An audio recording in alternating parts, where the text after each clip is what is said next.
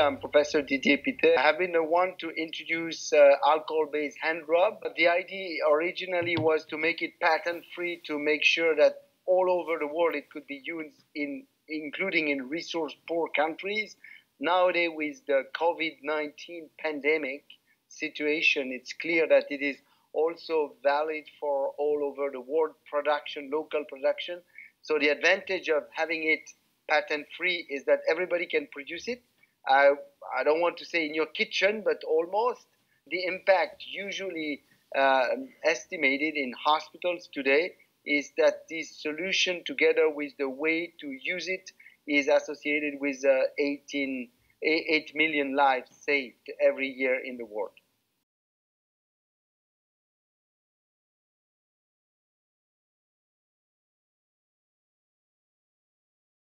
To have many, many projects is very good at the beginning. So you say there are too many projects, speaking of the building of ventilators, they should work together and put their energy and their collective intelligence together to actually produce only one ventilator, but a ventilator that would be as inexpensive as possible so that you can make it affordable all over the world and also that is easy to prepare, easy to, to make, and ideally with pieces of materials that you can find everywhere.